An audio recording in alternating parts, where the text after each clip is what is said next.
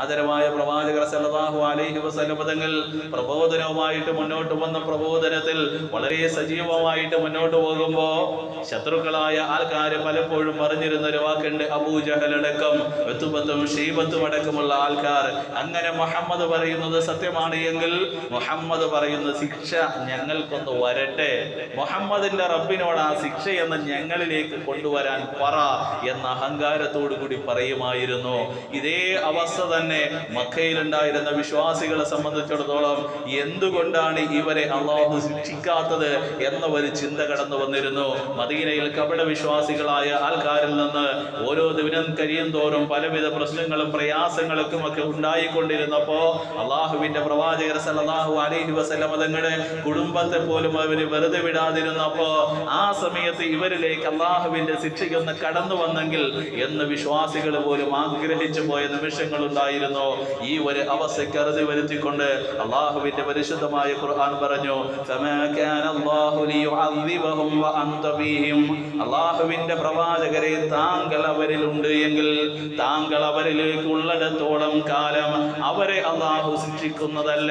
ഒന്നാമത്തേത് അള്ളാഹിന്റെ റസൂൽ പറഞ്ഞു എന്റെ സമുദായത്തിനുള്ള ഒന്നാമത്തെ അള്ളാഹുവിന്റെ അനുഗ്രഹം മുൻഗാമികളായ പ്രവാചകന്മാരുടെ അനുയായികളെ അള്ളാഹു ശിക്ഷിച്ചതുപോലെ അള്ളാഹുവിന്റെ ഭാഗത്തു നിന്നുള്ള കഠിനമായ ശിക്ഷയ്ക്ക് അവർ വിധേയമായതുപോലെ അത്തരമൊരു വിധേയമാകൽ എന്റെ സമുദായത്തിൽ ഉണ്ടാകില്ല ഒന്നാമതായി ഞാൻ അവരിലുണ്ട് എങ്കിൽ രണ്ടാമതായി എന്റെ ശേഷവും അവർ ശിക്ഷിക്കപ്പെടുകയില്ല. എത്രത്തോളം? അള്ളാഹു അവരെ ശിക്ഷിക്കുകയില്ല.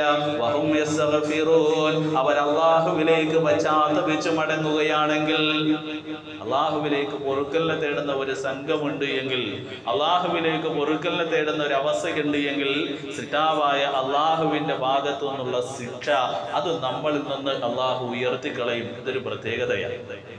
സിഗഫാറിന്റെ പ്രതിഫലമാണ് പുണ്യമാണ്. തീർന്നില്ല. അള്ളാഹുവിന്റെ റസൂൽ വീണ്ടും പറയുന്നു മല്ലസിമൽ ഇസ്തിഗ്ഫാറ. ആരെങ്കിലും പാപമോചനത്തെ നിത്യമാക്കുകയാണെങ്കിൽ ഈ ഒരു ഭാഗം എന്റെ പ്രിയപ്പെട്ട സഹോദരങ്ങൾ വളരെയേറെ ശ്രദ്ധിക്കുക. ജീവിതത്തിൽ ഒരുപാട് പ്രയാസങ്ങളിലേക്ക്. ഓരോ ദിനം കഴിയും തോറും ജീവിതം എങ്ങനെ എന്നത് വലിയൊരു ചോദ്യചിഹ്നമായി എന്റെ പ്രിയപ്പെട്ട സഹോദരങ്ങളെ നമ്മുടെയൊക്കെ ജീവിതത്തിൽ ഇങ്ങനെ നിഴലിച്ചു നിൽക്കുന്നുണ്ട് എങ്കിൽ ഇവിടെ ഒരു മറുപടി അള്ളാഹുവിന്റെ പ്രവാചകർ സല്ലല്ലാഹു അലൈഹി വസല്ലമ തങ്ങൾ നമുക്ക് നൽകുകയാണ്. അള്ളാഹിന്റെ റസൂൽ പറയുന്നു ആരെങ്കിലും ഇസ്തിഗ്ഫാറ." പാപമോചനത്തെ നിത്യമാക്കിയാൽ ജഅലല്ലാഹു ലഹു മിൻ കുല്ലി അവന്റെ ജീവിതത്തിന്റെ കീറാമുട്ടിയായി നിൽക്കുന്ന പ്രശ്നങ്ങൾ അവന്റെ ജീവിതത്തിന്റെ പരിഹാരം എന്ത് എന്നത് പോലും അറിയാതെ ഒരു നിമിഷം അന്തിച്ചു നിന്ന് പോകുന്ന പ്രശ്നങ്ങളിൽ നിന്ന് മഹ്റജ പുറത്തേക്ക് കിടക്കാനുള്ള വഴികളെ അള്ളാഹു അവന് തുറന്നു കൊടുക്കുന്നതാണ്. തീർന്നില്ല ഹമ്മിൻ അവന്റെ എല്ലാവിധ പ്രയാസങ്ങളിൽ നിന്നും ഫർഹ അവന് സന്തോഷിക്കാനുള്ള അവസ്ഥയും അള്ളാഹു നൽകുന്നതാണ്. രണ്ട് പ്രത്യേകതകൾ. ഒന്നാമതായിട്ട് നമ്മുടെ ജീവിതത്തിൽ എന്തു ചെയ്യുമെന്നറിയാതെ നിൽക്കുന്നിടത്ത് ചെയ്യാനുള്ള വാതിൽ അള്ളാഹു തുറന്നു നൽകും. രണ്ട് പ്രയാസങ്ങളിൽ നിന്ന് സന്തോഷകരമായ ഒരു അവസ്ഥയിലേക്ക് അള്ളാഹു എത്തിക്കും. തീർന്നില്ല മിൻ. നിങ്ങൾ പോലും പ്രതീക്ഷിക്കാത്ത മാർഗത്തിലൂടെ നിങ്ങൾ സ്വപ്നം കാണാത്ത മാർഗത്തിലൂടെ അള്ളാഹു നിങ്ങൾക്ക് സാമ്പത്തികമായി അല്ലാതെയുള്ള നിങ്ങളുടെ ജീവിതത്തിന് ആവശ്യമായത് എന്താണോ അത് നിങ്ങളിലേക്ക് അള്ളാഹു നൽകിക്കൊണ്ടേയിരിക്കും. നിങ്ങൾ അതിന് ഭയപ്പെടേണ്ടി വരില്ല.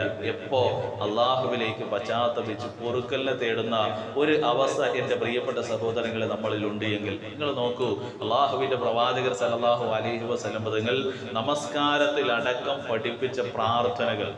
നമസ്കാരത്തിന് പുറത്ത് രാവിലെ എഴുന്നേറ്റത് മുതൽ ബാത്റൂമിൽ നിന്ന് പുറത്തിറങ്ങുന്നത് മുതൽ തുടങ്ങിയിട്ടുള്ള സകല പ്രാർത്ഥനകൾ നിങ്ങൾ പരിശോധിച്ചു നോക്കൂ. അവിടെയൊക്കെയും അള്ളാഹുവിലേക്ക് പശ്ചാത്തപിച്ച് മടങ്ങുന്ന ഇസ്തിഗ്ഫാറിന്റെ വചനങ്ങളെ നിങ്ങൾക്ക് കാണാൻ സാധിക്കും.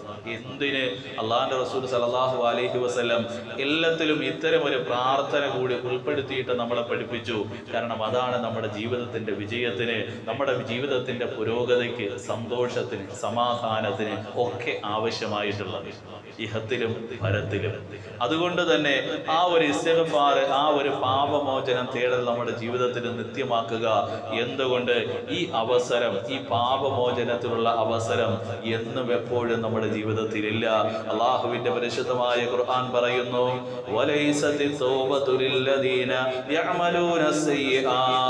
തിന്മ ചെയ്തു പോയ ആൾക്കാർ തിന്മ ചെയ്തു പോയ ആൾക്കാർക്ക് പശ്ചാത്തപിച്ച് മടങ്ങാനുള്ള അവസരമില്ല. തിന്മ ചെയ്തവന് പശ്ചാത്തപിച്ച് മടങ്ങാനുള്ള അവസരമില്ല. ഇസ്തിഗ്ഫാറിനുള്ള അവസരമില്ല. എപ്പോ? ഹത്താ ഇദാ ഹളറ അഹദകുമുൽ മൗത് നിങ്ങളിൽ ഓരോരുത്തരുടെയും അടുകിലേക്ക് മരണത്തിന്റെ മലക്ക് മരണത്തിന്റെ ദൂതുമായിട്ട് നിങ്ങളിലേക്ക് കടന്നു വന്നു കഴിഞ്ഞാൽ ആ മരണത്തിന്റെ മലക്ക് നിങ്ങളിലേക്ക് കടന്നു വരുന്ന ആ ഒരു നിമിഷമുണ്ടല്ലോ. ആ സമയത്ത് നിങ്ങൾ പറയും ഇന്നീ തുബുത്തുല്ലാൻ എന്റെ ജീവിതത്തിൽ ഒരുപാട് തെറ്റുകൾ വന്നുപോയി. എന്റെ ജീവിതത്തിൽ ഒരുപാട് കുറ്റങ്ങൾ വന്നുപോയി. അറിഞ്ഞോ അറിയാതെയോ ഒക്കെ ഒരുപാട് തെറ്റുകളിലേക്ക് ഞാൻ നടന്നുപോയി. അതുകൊണ്ട് ഈ നിമിഷം ഇതാ ഞാൻ പശ്ചാത്തപിച്ചു മടങ്ങുന്നു എന്ന് മരണത്തിന്റെ വലക്ക് നമ്മുടെ മുന്നിലേക്ക് മരണവുമായി കടന്നു വരുമ്പോ ആ സമയത്ത് അള്ളാഹുവിലേക്ക് പശ്ചാത്തപിച്ചു മടങ്ങാമെന്ന് വിചാരിച്ചാൽ അള്ളാഹു പറയുന്നു "ലൈസത്തി തൗബ." അങ്ങനെയുള്ളവർക്ക് ആ ഒരു സന്ദർഭത്തിൽ തൗബയില്ല. അഥവാ മരണം മുന്നിൽ വരുന്ന സമയത്ത് പശ്ചാത്തപിക്കാമെന്ന് വിചാരിച്ചാൽ ആ സമയത്ത് പശ്ചാത്താപം അള്ളാഹു സ്വീകരിക്കില്ല. ആ മരണം നമ്മളിലേക്ക് കടന്നു വരുന്നതിന് മുൻപുള്ള നിമിഷം ഈ നിമിഷമാണ്. അടുത്ത നിമിഷം നമുക്കുണ്ടോ അറിയില്ല. അടുത്ത ദിവസം നമുക്കുണ്ടോ അറിയില്ല. അടുത്തൊരു വർഷം കൂടി നമ്മളുണ്ടോ അറിയില്ല. ഇവിടെ നിന്ന് എഴുന്നേറ്റ് കൊണ്ട് നമ്മൾ വീട്ടിലേക്ക് പോയി ഭാര്യയെ കാണുമെന്ന് വിളമ്പി തന്ന ഭക്ഷണം കഴിക്കുമെന്ന് നമുക്ക് ഉറപ്പില്ല. ആ ഒരു കാലഘട്ടത്തിൽ എന്റെ പ്രിയപ്പെട്ടവരെ മരണം മുന്നിലേക്ക് വന്നു കഴിഞ്ഞാൽ എല്ലാം അവസാനിക്കുകയാണ്. മരണം മുന്നിലേക്ക് വരുമ്പോൾ എല്ലാം എല്ലാം അവസാനിക്കുകയാണ്. അമലുകളെല്ലാം മുറിഞ്ഞു പോവുകയാണ്. ബന്ധങ്ങളെല്ലാം മുറിഞ്ഞു പോവുകയാണ്. ബന്ധം ദുരിയാവിലാണ് നാളെ പരലോകത്ത് ഭാര്യ നമ്മളെ സഹായിക്കാൻ വരില്ല? പുന്നാര മക്കൾ നമ്മളെ സഹായിക്കാൻ വരില്ല. അതുകൊണ്ട് നിങ്ങളുടെ രക്ഷിതാവിന്റെ പാപമോചനത്തിലേക്ക് നിങ്ങൾ ധൃതിയാവുക. വജന്നത്തിൻ അതിലൂടെ സ്വർഗത്തിലേക്ക് ഏത് സ്വർഗമാണ്? വൽ ആകാശഭൂമികളെക്കാൾ വിശാലമായ സ്വർഗം. മുത്തഖീൻ. അത് തക്കുവയുള്ളവർക്ക് വേണ്ടിയാണ് തയ്യാറാക്കിയിരിക്കുന്നത്. അതുകൊണ്ട് തന്നെ പാപമോചനത്തിലേക്ക് നിങ്ങൾ ധൃതിയാവുക. എന്ന അള്ളാഹുവിന്റെ ഖുർആൻ പാപമോചനത്തിലേക്ക് ധൃതിയാവുക. മനുഷ്യന് കാര്യങ്ങളിൽ പ്രശ്നങ്ങളിൽ ധൃതി പാടില്ല എന്ന് നമ്മൾ പഠിക്കുമ്പോൾ ഒന്നാമതായി ധൃതി വേണ്ടത് നമ്മൾ കഴിഞ്ഞ ആഴ്ചയിൽ പറഞ്ഞു നമസ്കാരത്തിലാണ്. രണ്ടാമത് നമുക്ക് ധൃതി വേണ്ടത് അൽ ഇസ്തിഗ്ഫാറു മിനൽ പാപമോചനം തേടുന്ന വിഷയത്തിലാണ്. മൂന്നാമത് നമുക്ക് ധൃതി വേണ്ടത് ഇൻഷാ അള്ളാഹ് അള്ളാഹു അനുഗ്രഹിച്ചാൽ അടുത്ത ആഴ്ചയിൽ മനസ്സിലാക്കാം.